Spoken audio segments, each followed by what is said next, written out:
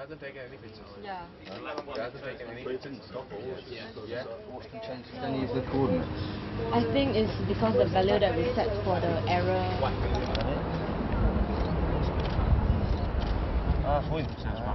Ben vist. Ellos lo que tienen es una programación de un teléfono Android. El teléfono Android que está aquí es el que toma las fotografías y el que indica a la placa que hay aquí que tome las medidas de sensores. Esto es una placa Arduino. Eh, todos los datos eh, se mandan a través del teléfono, de este teléfono a través de Wi-Fi y 3G contra un servidor. Entonces todos estos datos son abiertos, cualquiera puede acceder a ellos.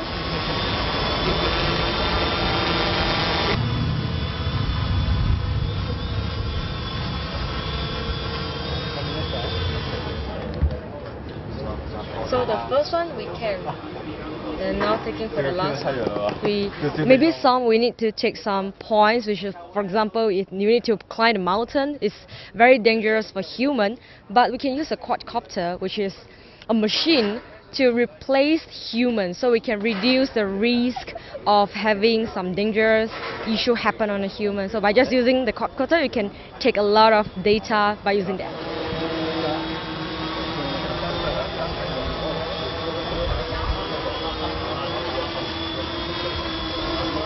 Uh, yes, it's very useful. Uh, not maybe not in this uh, green green city, but in other other cities um, like in China. I, I know it's very actual.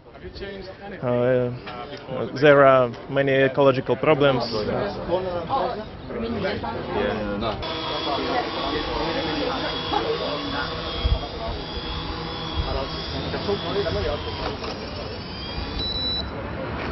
el té, el té. Perfecte. Això... I tornem.